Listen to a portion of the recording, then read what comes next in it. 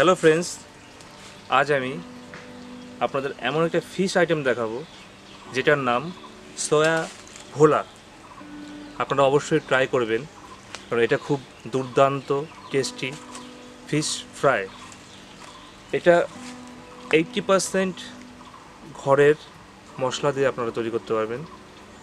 আর সামান্য কিছু জিনিস লাগে, ওটা আপনারা পাশের মার্কেট থেকে পেয়ে যাবেন। অবশ্যই ট্রাই করবেন, খুব দুর্দান্ত। এটা আপনারা বাড়িতে করতে পারেন পিকনিক স্পটে করতে পারেন, বা কোথাও ট্যুরে গেছেন, সেখানেও করতে পারেন। তো আপনারা দেখুন সোয়া ভোলা প্রথমে আমি দেখাবো মাছকে কী করে, কি কি উপকরণ দিয়ে ফ্রিজিং করলাম আমি, সেটা আপনাদের দেখাবো।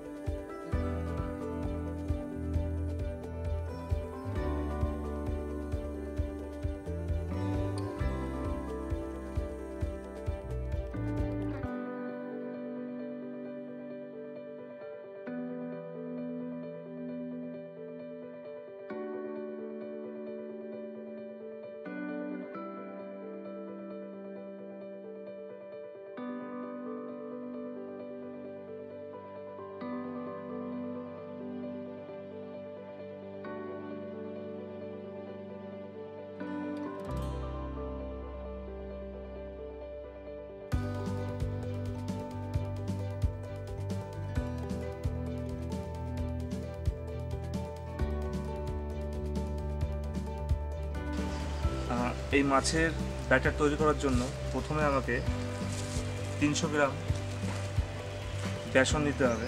এটা পাত্রে ছেড়ে দিতে হবে। খুব দুর্দান্ত একটা রেসিপি তিনশো গ্রাম হয়ে গেছে। খানিকটা রেখে দিলাম। খুব দুর্দান্ত রেসিপি তারপর এর মধ্যে আমি পরিমাণ মতো একটু লবণ নেব। স্বাদ অনুসারে।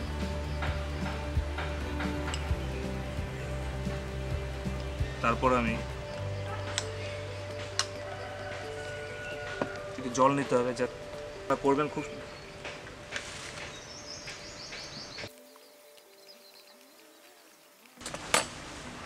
এবার আমি রসুন,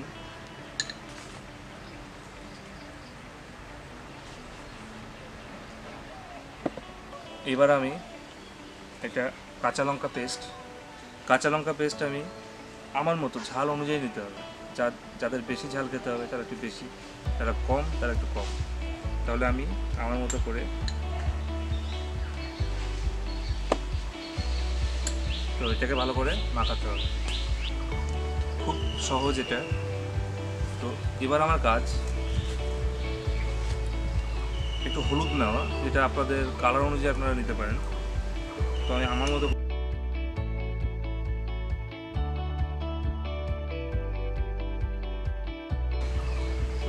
জোয়ান জোয়ান কিন্তু দিতেই হবে। কারণ এই রেসিপিতে এটা একটা ভাইটাল পার্ট জোয়ান দেওয়া।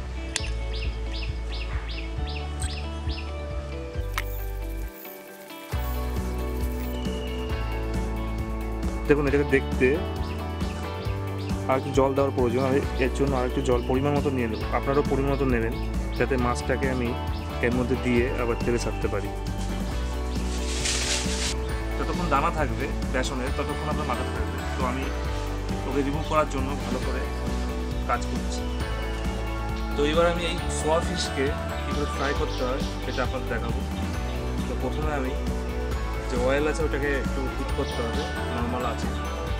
তো সেটাকে আমি করব এখন। এটাকে আমি তেলটা একটু গরম করব।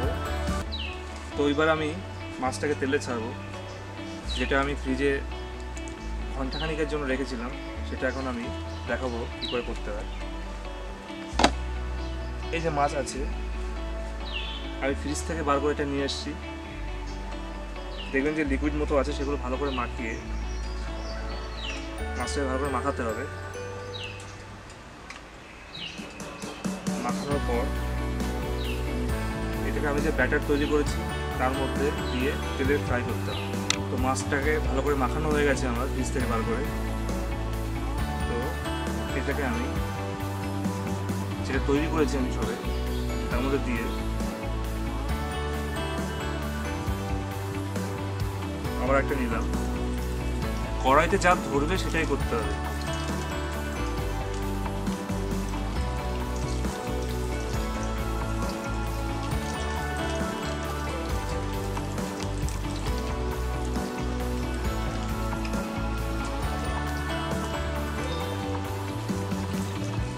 আপনারা বাড়িতে ট্রাই করবেন, খুব সুন্দর রেসিপি এটা। সোয়া ফিশ দেখলেন তিন থেকে চার মিনিট পর, যদি দেখেন মাছটা এখনও ওঠেনি, তবে আপনি একটু নাড়িয়ে দেবেন নিচটা। ভালো করে নাড়িয়ে দেবেন। আমি উল্টে দিলাম মাছগুলো।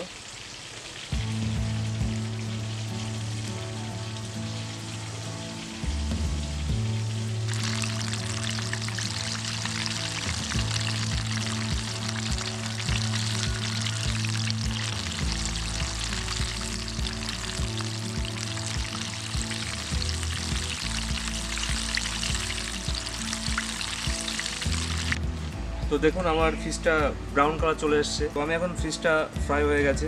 আমি এখন প্লেটিং করব। প্রথম প্লেটটা নিলাম। সরিয়ে রাখি। জাস্ট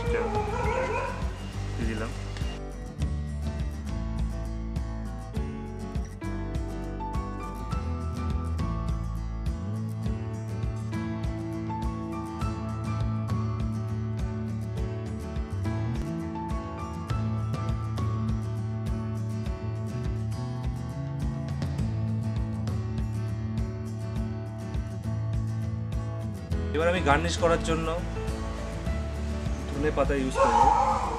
আপনি দেখুন কীভাবে করা হয়। একটু সাইড করে রাখি। জাস্ট ধনে পাতা আপনারা দেখেছেন। এটাকে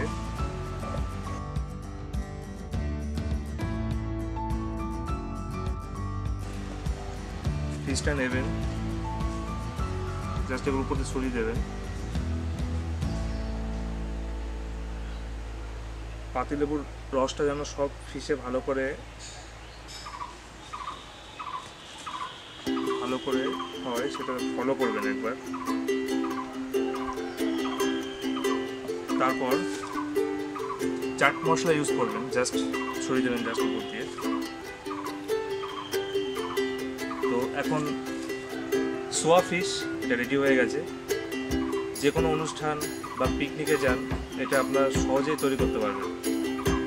যদি কোনো দূরে লং জার্নিতে যান ম্যাক্সিমাম তিন ঘণ্টা টাইম বা দু ঘণ্টার মধ্যে হয়, তাহলে আপনারা ফ্রিজে আগের দিন করে রাখবেন ডিপ ফ্রিজে রাখবেন, অসুবিধা কিছু নেই। আর দেন দেয়ার করতে গেলে তখন সঙ্গে সঙ্গে মিনিমাম এক ঘণ্টা ফ্রিজে রাখলেই কাফি।